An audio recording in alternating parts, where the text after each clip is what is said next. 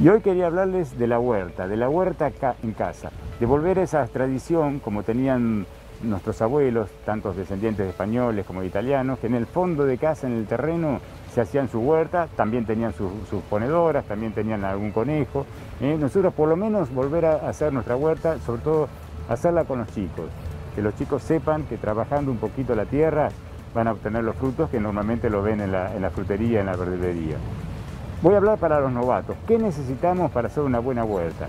Primero, tener un lugar soleado, tanto sea en un jardín como en un balcón, en una terraza, nosotros con recipientes podemos eh, adaptarnos para tener, aunque sea una pequeña variedad de, eh, plantas de, hortalizas.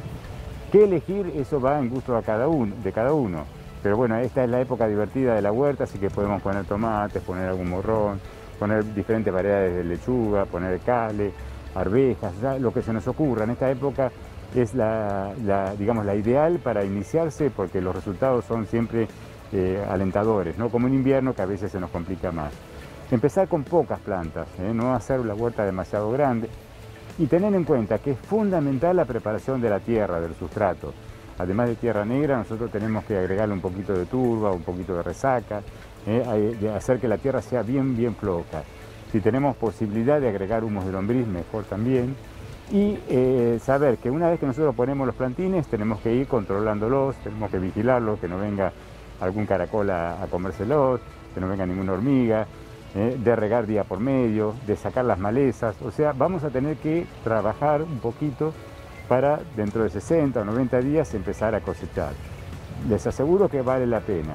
¿Eh? Y en recipientes para hacerlos, para el que no tienen jardín, hay un montón de posibilidades, o con pales viejos, hacerlos en, madera, o con tachos, eh, dividir los, tambores de combustible al medio usarlos como recipiente.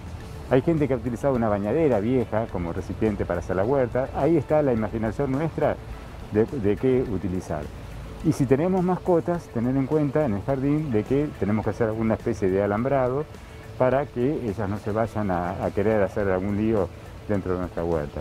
Así que bueno, tenganlo en cuenta, es una muy linda actividad para hacer con los chicos, para que ellos aprendan que trabajando después obtienen los, digamos, los frutos. Así que los, espero con el desafío.